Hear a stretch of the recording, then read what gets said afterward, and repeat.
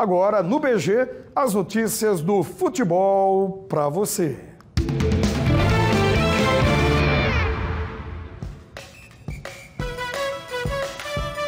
Campeonato Alagoano, semifinais.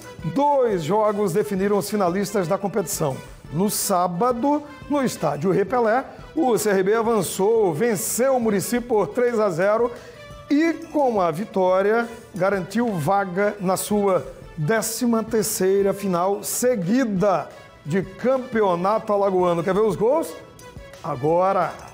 O CRB abriu o placar aos 26 minutos do primeiro tempo.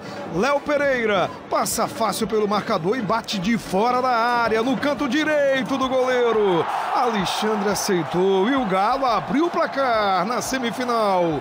Gol 1 a 0.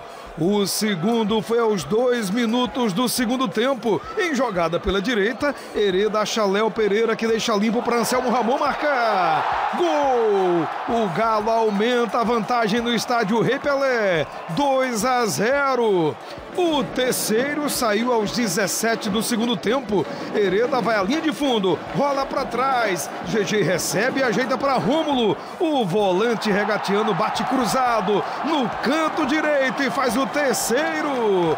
Gol! Fim de jogo no Rei Pelé. CRB 3, Murici 0. O Galo, para alegria da sua torcida, vai à sua 13 terceira final seguida de Campeonato Alagoano. Já em Arapiraca, no Coraci da Mata Fonseca, ontem o Asa também carimbou o passaporte em sua terceira final seguida de Alagoano. O Asa venceu o CSE por 2 a 0. Veja os gols agora.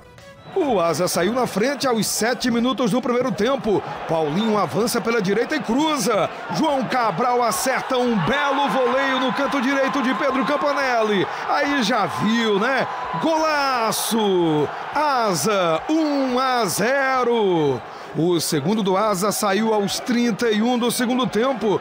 Gabriel aproveita o time do CSE todo no ataque e arranca em velocidade. Na frente do goleiro Pedro, toca para Bruno Menezes, que faz gol! Asa 2 a 0.